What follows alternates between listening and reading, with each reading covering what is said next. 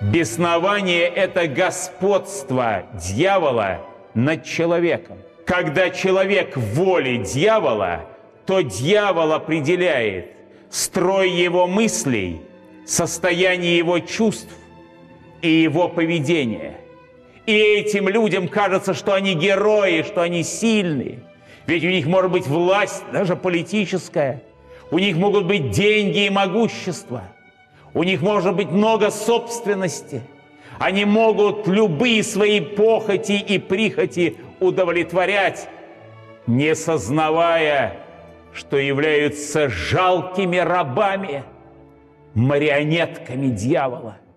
И только тогда, когда разбиваются жизни, когда человек вдруг в момент какой-то сознает, что ничего не удалось, что все рушится, нету друзей, нету любимых, нету семьи, нет ничего, кроме страстей.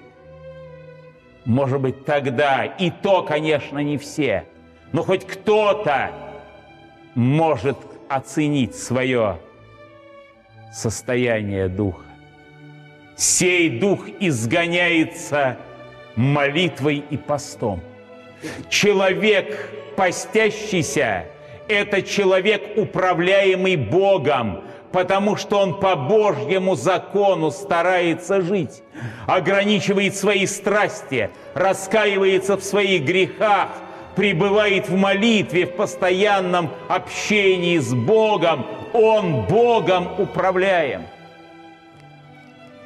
И дьяволу невозможно управлять таким человеком. Мы должны поститься и молиться за тех, кто не молится и кто не постится за наших родных, близких, за наших друзей, за наших знакомых, за наших коллег по работе, за тех, кто во власти, кто в силе, за тех людей, которые оказывают влияние на общество. Мы должны справиться с массовым беснованием. Дьявол будет трепетать, трепетать пред лицом постящихся и молящихся – тех, кто остается свободным, подлинно свободным от всякого дьявольского приражения.